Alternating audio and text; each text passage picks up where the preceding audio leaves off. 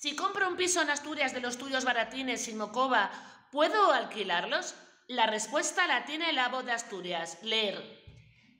Los alquileres turísticos para el verano se disparan en Asturias y ya rozan los 800 euros semanales.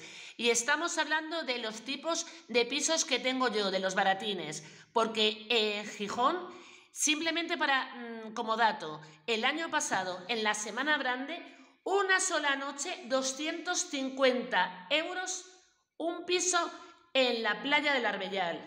Así que la respuesta es sí. Si compras un piso en Asturias, puedes alquilarlo y la rentabilidad, cuanto más barato sea el piso, obviamente, mayor será la rentabilidad.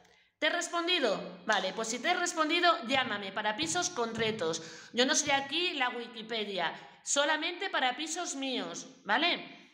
Llama por teléfono al 6650897270 y te daré toda la información. Chao.